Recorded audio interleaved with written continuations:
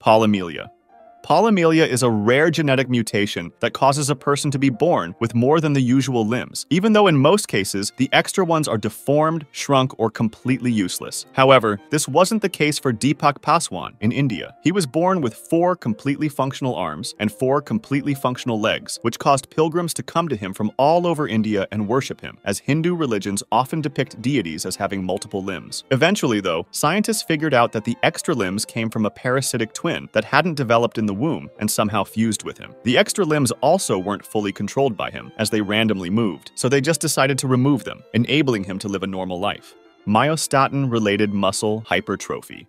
This disease gives super strength, as affected people have over twice the usual muscle mass of the average human. It's caused by a mutation of the MSTN gene, which is usually responsible for limiting muscle growth, but in this disease, it doesn't properly work. A famous example of this disease is Liam Hoekstra, who's been jacked since he was a kid and could do a pull-up at 8 months old, had a six-pack at 3 years old, and could lift 3 kilogram dumbbells with his arm fully extended at just 3 years old. It's one of the only diseases on this list with no known medical complication hyperthymestic syndrome.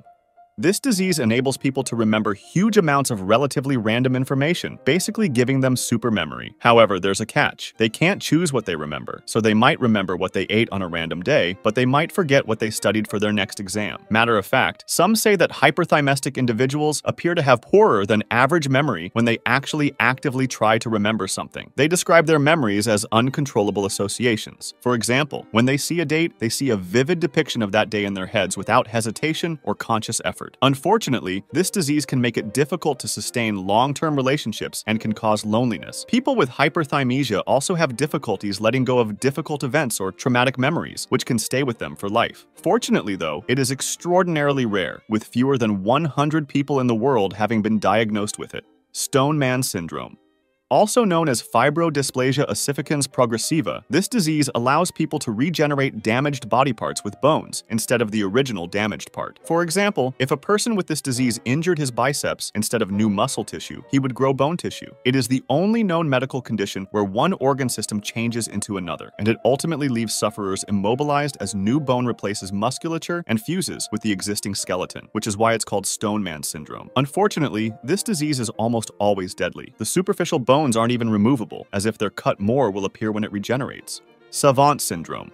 This disorder, which is sometimes paired with autism and Asperger's, makes the patient extremely talented at a variety of tasks, such as calculations, drawing, painting, cartography, and much more. As an example of how incredible this might get, Stephen Wiltshire, a man who was diagnosed with savant syndrome, was able to draw a precise map of London after flying over it just once. However, people with savant syndrome are usually really good at one specific task, but lack social skills. Congenital insensitivity to pain.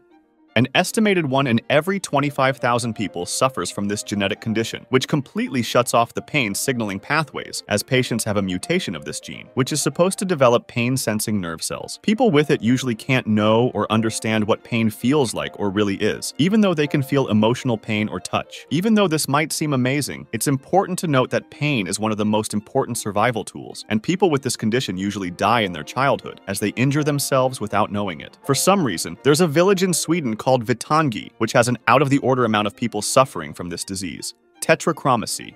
If you tried to imagine a new color, you wouldn't be able to. Your brain would just glitch. People with tetrachromacy, however, don't have to imagine new colors because they actually see them. Humans' eyes have three types of cone cells, which enable us to see a part of the light spectrum, while some other animals, especially birds, fishes, and reptiles, have four. This means that the organism may see wavelengths beyond those of a typical human's vision, and may be able to distinguish between colors that, to a normal human, appear to be identical. In humans, tetrachromacy is extremely rare, to the point that some don't even believe it exists exists, but there was one account where a woman was found to have an additional cone type, which was a sort of intermediate between M and L. Trichodento osseous syndrome.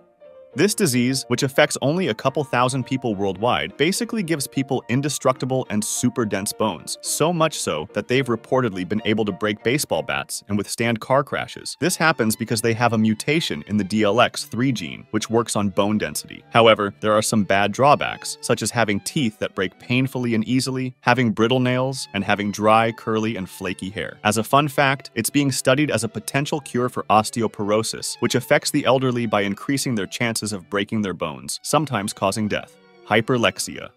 If a kid between the age of 2 and 4 years old is able to read everything perfectly, and he's obsessed by numbers or letters, he might have hyperlexia, which is a syndrome characterized by a child's precocious ability to read. The problem with this, however, is that it's basically fake reading, as they're able to say out loud the words on a piece of paper, but they're unable to understand what they're reading. The cause is still unknown, but it's thought that it has a certain overlap with autism, with some claiming that about 84% of hyperlexic kids suffer from autism as well.